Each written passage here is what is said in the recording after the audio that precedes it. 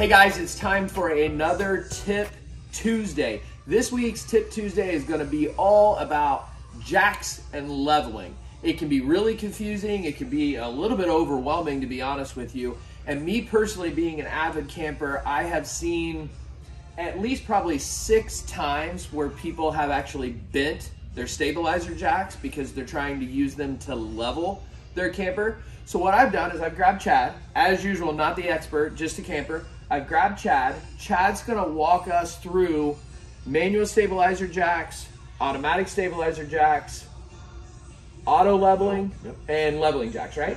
Okay, perfect. So I'm gonna let Chad take it away. I'm gonna shut up. So Chad, if you don't mind. Absolutely. Hey, good morning. Thanks for joining us today. We're going to start off right here in this little hideout 17 foot single axle travel trailer. Typically, these will come standard with manual jacks.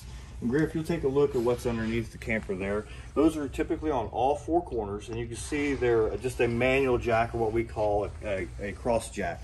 So basically, what you do is they come with the handle that would allow you to raise and lower these stabilizer jacks. We'll just take some pressure off of this camper, just kind of show you how it works.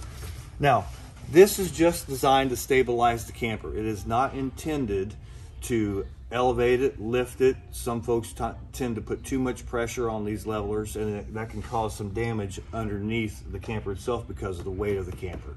So basically how you want to utilize these, if you don't have, you would want to purchase some of those plastic um, support blocks. You always want something between the bottom of your level jack and the ground itself for settling. And we do sell those up at our service facility and service facilities at campgrounds across the United States offer those as well. But you can also, I mean, you can use wood blocks and stuff You if you use- need to, yeah, right? you it's basically just getting something in between the, the jack and the ground, right? Yes, sir. Just for settling, supporting. You don't want these jacks to settle down into a grassy, gravelly area. and pavement, it gets hot during the summertime. They'll sink into the pavement. Concrete, they'll have a tendency to slide sometimes, just the movement of the camper. So it's good to have something between this and the element that you're you're stabilizing on. So the manual handle, basically, what you want to do is you just want to crank this down, get to your surface, make sure it's just snug where it's tight. Now, a lot of folks aren't fans of doing this manually, going around the RV four times and cranking them down, especially depending on the train that you might be on. It may be elevated in the front, lower to the ground in the back. So what they'll do is they'll take a half inch socket and drill with them and simply run it up, run it back down. So don't let that be a discouraging thing that it's a manual stabilizer. Yeah, because uh, not to interrupt, but I mean, Yes, you think about it. Almost everybody's got a drill and a socket. Absolutely. So the time you took to do that, it's actually, in my opinion, because I've always had electric. It's actually faster what you just did. Mm-hmm. Because the electric, you know, it's kind of rrr, rrr, Absolutely. rrr, but that's much faster and easier, right? yeah, absolutely. Throw So- it in your in your storage compartment. Boom, Yeah. you're good to go. Then you have the drill for anything else. Should you need to change the bit out for anything that you want to hang in your camper or Right. anything that you're hanging around the campsite itself, lights and etc. Okay, so show us an electric one now. Sure. Electric stabilizer, right? Electric stabilizer. Okay. This is correct. So directly behind Greer here, you'll see we're at the Passport, and the Passport itself offers the electric stabilizer jacks. And you see they look much different than the cross jacks that we've seen underneath the hideout, where they actually come out at an angle and they drop down from underneath the frame of the camper itself. Again, same concept, just stabilizing the RV itself, not leveling. Um, that's stabilization. The difference between the two, and why you'll find this is most common on your electric sides, is the stabilizer jacks, the cross jacks, the more we require of them to come down, we're taking uh, or adding mobility to that camper. So if you did have a deep train on this type of a jack, what you'd want to do is put a much larger block so we're requiring less of that to come down. A great example that was shown to me by one of our sales reps here one time was that you take the stabilizer jack that we just um, demoed and you extend it completely, it's just like if I'm standing here vertically. Someone comes along and pushes me, there's going to be some sway. But if I'm standing like this, then it's virtually impossible to knock me from one side to the other in comparison to that. Same thing that's going on here. It's just a wider stance, electric jacks out of convenience. Um, they are rather slow, as Dan alluded to a few moments ago, in regards to them coming down. But they do will come. They do come down independently. They're working on the same rod as they're coming down. But if this this jack were to touch the ground before the jack on the opposite side does, then it'll stop and the other side will continue to come down until it touches. That's where it becomes confusing to a lot of our campers that this is some type of a leveling system. there's just an all thread that runs between these two jacks and those jacks are running down that all thread. And then once this stops, then this will continue to run down that thread until it touches off on the ground too. Again, same recommendation. You're going to want to put something between the foot pad of this jack and the surface that you're um, stabilizing yourself on. And again, those are just stabilizing. Like you got to really, really stress that point. Really those are that. not meant for leveling. 'Cause I have seen some people throw their level in the camper and then they they're pushing the button Right. and they're trying to level it up. Yeah.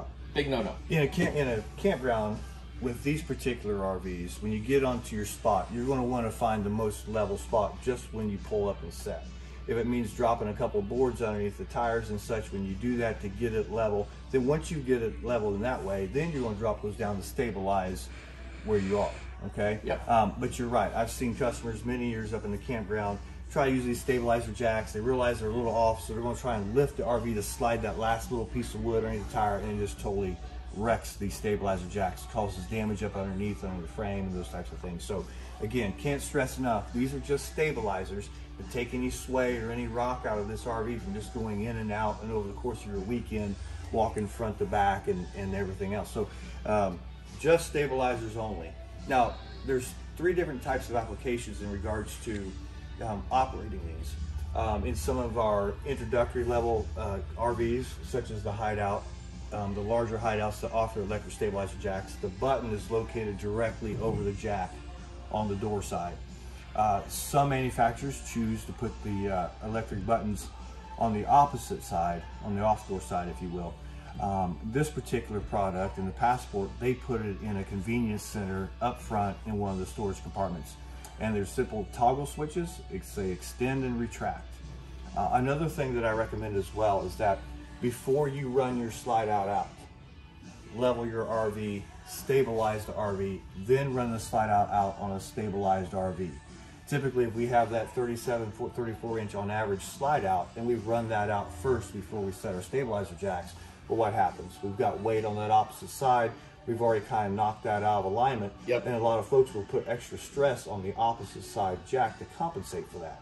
Well, all that can be eliminated by just just leveling the leveling the RV first, putting the stabilizer jacks down before you open it up. Just another little tip to think about. Nice. Yeah. Okay, so now show us a leveling jack. Okay.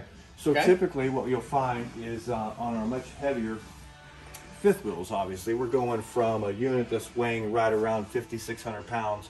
One we just demoed a few moments ago, just around 3,000 pounds. To something that's in that 14,000 and up range as far as the weight goes. So stabilizing is just as necess- necessary as we've seen in the others as well. And these are offered in hydraulic auto level systems. So if you see these, none of these uh, um, have any um, mechanics to them in regards to manually um, lowering or raising these. They're run through a hydraulic pump up front. Um, there's a simple button that you push and these six point level up system, three on either side, one in front of the axles, one behind the axles, and of course the ones up front that lift the fifth wheel on and off of your vehicle, um, will then operate to a situation where the front jacks will stabilize themselves first, raise or lower to get you to that, that starting point of uh, zero degrees, and then the rest of these will come down and they'll settle the camper. Now, sometimes um, these will have the ability to raise the right side over the left side um, because of the terrain that we're on. It has the strength to do that and the power to do that.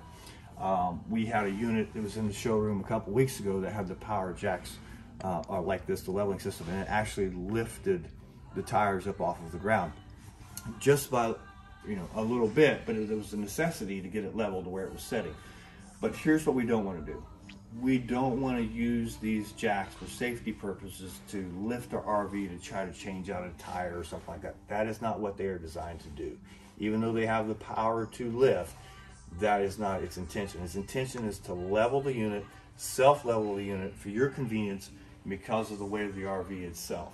Uh, we still, even with these jacks here and with those big foot pads, we want to put something between the surface we're leveling on and the foot pad of the auto level jack itself. Okay, perfect. Not close. Now we'll close it out. That was awesome. You killed it. Okay, guys, as I said, I always try to grab an expert. Chad, thank you so much. You're welcome. Thank you. Now, here's something else I want to throw in there, and I think you'll agree with me on this.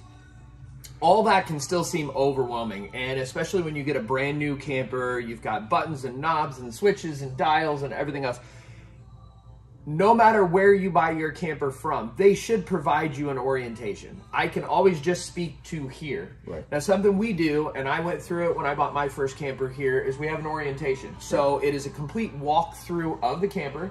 They should explain to you in great detail the fact that those are either stabilizing jacks or they're leveling jacks and how they should operate. So uh, I know here, my first time, I don't know if you remember, I wore a freaking GoPro on my head, a little dorky GoPro, and I recorded the whole thing so I could go back and watch right. it.